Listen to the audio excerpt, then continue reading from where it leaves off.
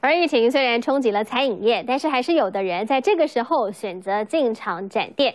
像是艺人曾婉婷也独家向我们透露，说她北上通化街的展店计划。谢谢。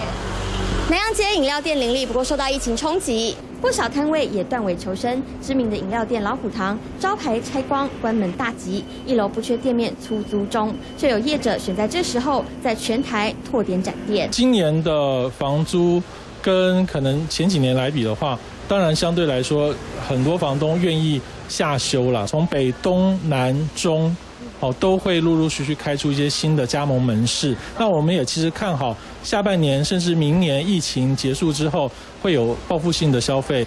调降加上预期消费心理，就连麻辣锅业者也跨界开饮料店，初期成本含装潢设备超过五百万。像中信阳街北车一级站区是营运五天，现场含外送，日售最高八百杯，与其他品牌加入北市一级商圈手摇饮卡位战。其实三十万来说，其实是蛮高的啦。那呃，这个其实就是钱潮跟人潮的一个表征，它其实是相通的。那我们其实之前也都在西门町比较高店租的地方有做过类似。的一个经验，所以我们都有做过相关的评估了。原本在五月的时候，我们就要在台北的通化街开我们第一家台北店，但是因为疫情的关系呢，我们有延后了。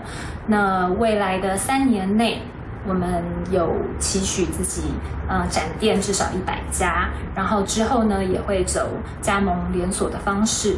本土剧女神曾婉婷也趁疫情布局饮料店副业，野心勃勃，从新竹北上拓点。其他上市也投资手摇饮的艺人简佩恩，因为员工减半，得亲自去柜位帮忙。全台拥有三百四十家文青饮品店的丫头，近期营业额负成长，宁愿赔钱也不让员工失业。疫情加持外带外送商机，碰上饮料旺季的手摇饮也趁机重新洗牌。业者苦撑度过疫情，新旧品牌加入竞争，牵动市场敏感神经。三立新闻许志雄、林文富、方玉祥、莫长珍综合报道。